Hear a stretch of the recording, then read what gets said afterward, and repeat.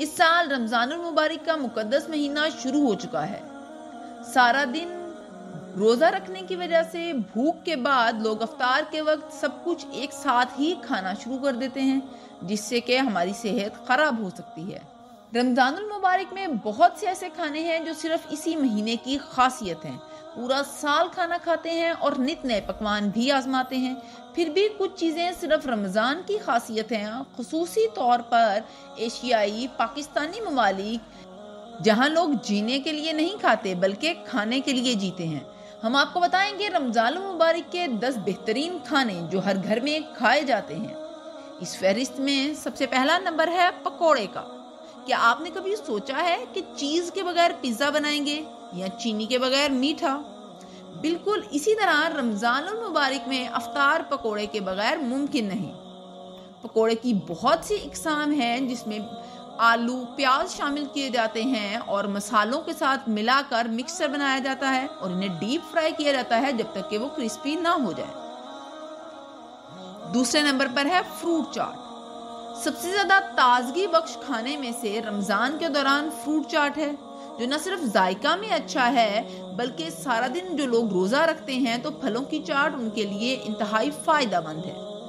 जैसा कि इसके नाम से वाजे है कि कई फलों से मिलकर बनाई जाती है, इसको क्रीम के साथ भी बनाया जाता है, और चाट मसाला और लीमू के साथ भी। इसका तरीका नहायत ही आसान और बहुत ही मज़ेदार खुराक है। नंबर तीन पर है दही बल्ले।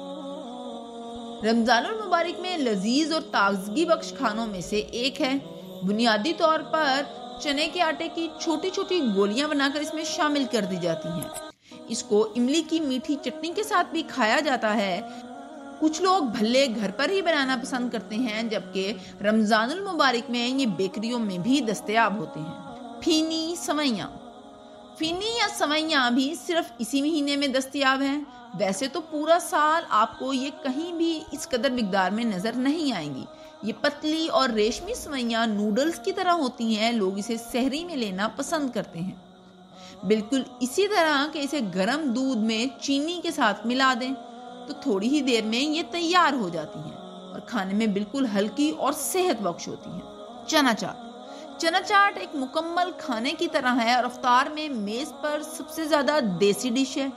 ये चने, आलू, प्याज, टमाटर, इमली की चटनी और दही की चटनी के साथ मज़ेदार मुरक्ब है। रोल या समोसे। एशियाई खास तौर पर पाकिस्तानी लोग हमेशा हर वक्त रोल और समोसे खाने के शौकीन रहते हैं।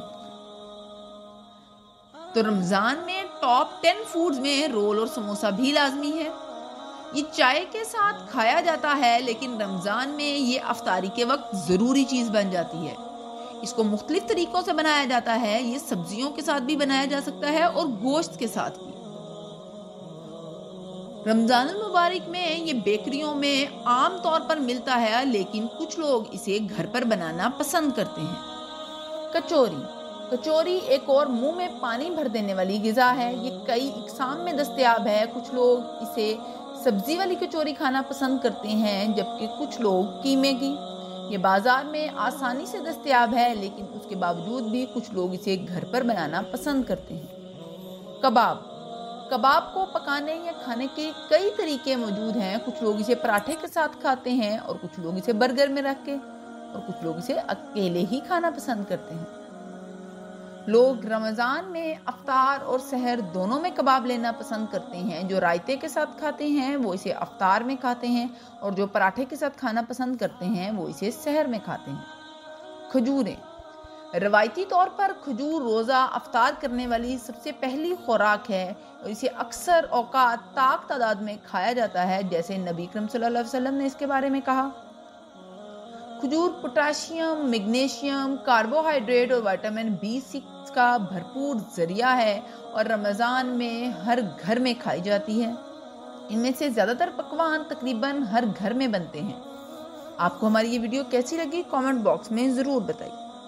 हमारी वीडियो को लाइक कीजिए, शेयर कीजिए, हमारे चैनल को सब्सक्राइब कीजिए और बेल आइकन को दबाना ना भूलिए, ताकि आने वाली हर वीडियो का नोटिफिकेशन आपको मिलता रहे।